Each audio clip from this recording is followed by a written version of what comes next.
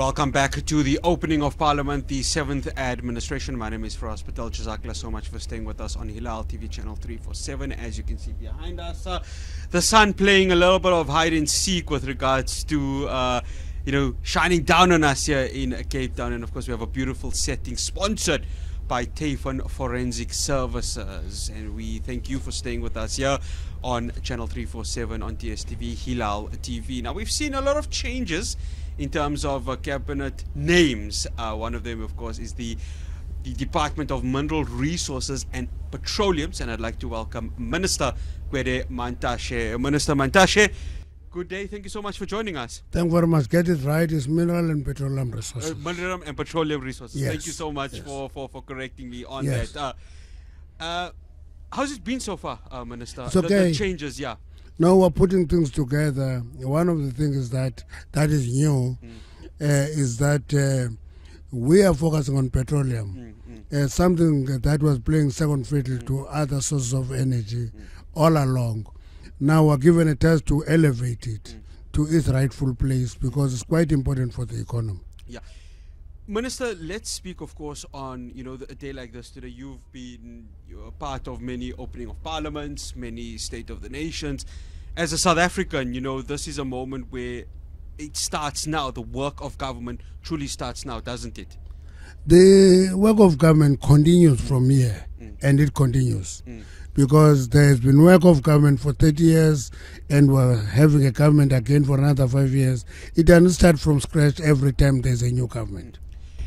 With the government of national unity, a number of policies come into frame. Uh, of course, the ANCs would be the one that, that, that, that strongly dominates given the numbers. But do you feel that this government of national unity right now is on the right track in terms of really bringing a sense of trust to South Africans? Whatever trust may have been lost, do you feel that this year can bring that sense of trust back to South Africans? We, we had a Lekgotla last weekend, and uh, all the ministers were there. We've agreed on priorities that we must focus on, and that was a good start for the government of national unity. Uh, I don't know the loss of trust. Uh, I always describe South African democracy as a very noisy democracy. Uh, if you do something right, they accept that and uh, shout louder for something new they want to see happening. And we must accept that as the nature of this country, uh, a loud, a loud democracy. Minister Mantashe, let's let's talk about obviously your portfolio, uh, mining. Yes. Uh, mining obviously took quite a hit during the COVID nineteen period. It's slowly starting to get its recovery. How important is your work going to be with the uh, mining conglomerates, the mining industry, in terms of making sure that the work, whatever work is, has been progressed, progresses even further. But if there have been uh, maybe a lack of downpours in the mining industry, that that is recovered. How important is that? Your ministry going to be in trying to make sure that that occurs and that progression is at the right stage. Fortunately, mining led recovery and, and reconstruction after COVID. And the reason for that is that in the middle of COVID, we took the very serious decisions that affected people in many ways. Whether it is to open up coal mines at level 5 and open all open cuts at level 4 and open every mining operation at level 3. And that made it to recover quicker. Uh, we were actually shouted at as exposing miners. Mm. But the numbers do not show miners have, uh, as having been mm. overexposed. But what it has done in recovery, it led the, the charge. But mining is a complex sector because it's affected by many factors. The first one is exchange rate. The second one is the cyclical nature of the price of commodities. And when uh, uh, misbehaves with the load shedding and when the rail line can't take iron ore bulk and uh, coal back to the port, mines see that directly and feel it. Minister, I want to touch on the the petroleum part of things. Of course, uh, the natural gas. You said it last week from Russia. Uh, that's going ahead, isn't it? And you, you've been vociferous in terms of the relationship South Africa has with Russia through the BRICS connection. Uh, is that going ahead? Uh, how far are we? And, and talk about the importance with regards to that. Yeah. The reality is that we trade with the world across the board. Uh, we don't impose sanctions on Russia because somebody has. Uh, so we work with Russia, we work with everybody. Uh, actually, I would like to have uh, oil from Iran. Mm. Yes, that's how strong I feel about international relations. So we're working with reviving of the of the refinery in in in, in Petro SA. We're working with a Russian company. We're pushing it to be it begin to show us results. Want to see the first plant operational sooner than later. Then we'll appreciate their work. Uh, Minister, I know that the rand to dollar and obviously the oil prices have a huge impact on, on the petrol pricing within South Africa. Here's a question I want to ask you. South Africans, of course, you know that everyone's strained in their pockets. When is there going to come a point where, through, of course, a Petro SA and that deal with Gazprom Bank, where you have a sense of refining, you know, whether it's liquid gas or oil itself, that South Africans can start seeing a little bit of reprieve in terms of petrol pricing. I know there are other factors beyond the control of mineral resource, uh, the mineral resource and petroleum, mineral and petroleum resources. So w- when can we see that we happening? should take we must take it head on the challenge of foreign funded NGOs that block exploration of oil and gas Mm. Because the only reprieve will be when we discover our own oil hmm. and our people can have control over the price of oil we don't have that now we import every piece of oil and gas hmm. we have deposits that are proven.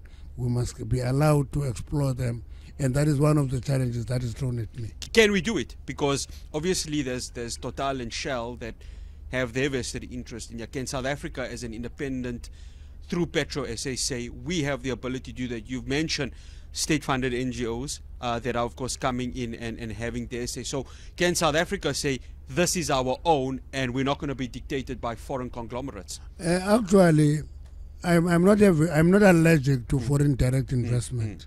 I think it's part of economic development. If we foreign direct conglomerates want to invest in South Africa, we must invite them, open our arms to them, and work with them. But we should, at the same time, encourage South Africans to form companies that can compete in that space. And I think we can do that. Manisa, I want to touch on a, deal that's hanging in the air at the Anglo-American BHP. Uh, talk to us about that because I know the your department's going to obviously play quite a role given that it is South African resources at the end of the day. How important is it that there's transparency in what happens there and that the communication between your department, BHP and Anglo-American is done in an effective way? That bill, that, that, that discussion has collapsed, Mm. has fallen through. Yeah. And I'm happy about that because I thought BHP is not the right partner. Uh, I, that is derived from the feeling that they took Afrikaner capital in the name of Billiton, put it into BHP, and actually fired Brian Gilbertson within six months. Uh, uh, a competent CEO, they fired him, and we have nothing to show for that Afrikaner capital. And BHP was a wrong partner.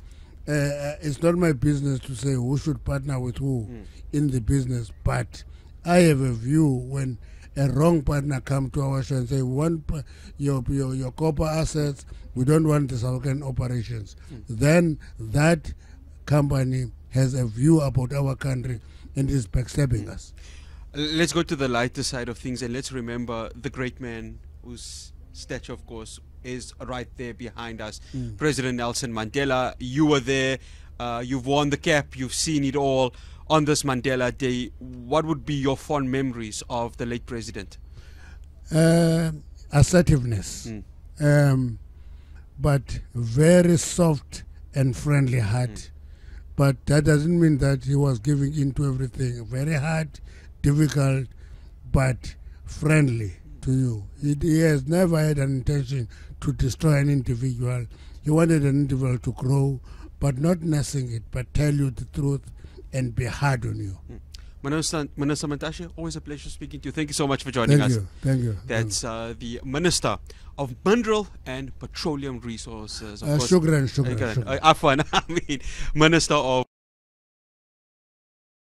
Mantashe Minister, of course, talking to us about ahead of the opening of Parliament for the seventh administration, and of course, just talking to us about his portfolio.